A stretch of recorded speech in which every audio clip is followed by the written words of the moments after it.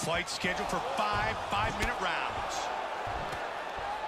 Quite simply, this is one of the biggest fights in UFC history. Highly anticipated for so long. Finally, they meet tonight. This fight, quite simply, is one of the biggest in UFC history. It is impossible to overemphasize how important this fight is and what implications this title fight has for the entire sport. This is one of the biggest bouts of the year, if not ever. He's starting to land those kicks to the body. Oh, huge kick to the midsection. There's a good jab. Oh, Oh, head him with the kick. Oh, head kick. Oh, he's landing at will. Huge kick. And again, head kick.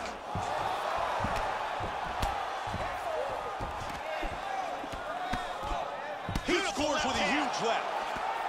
Oh, head kick. Wow. what an exchange. Man, big strike.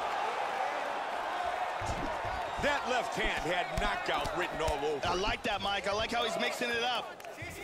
Oh, very nice. He connects with the left. Oh, nice knee.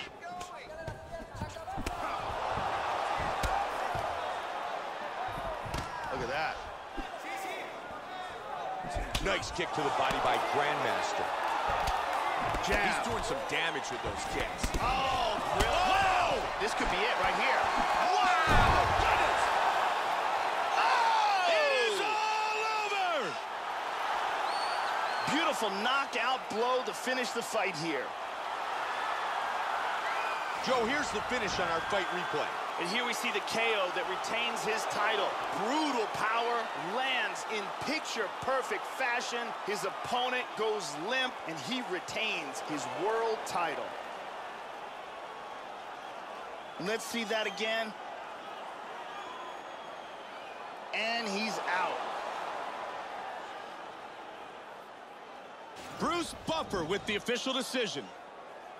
Ladies and gentlemen, referee Mario Yamasaki has called a stop to this contest at 2 minutes, 53 seconds of the very first round.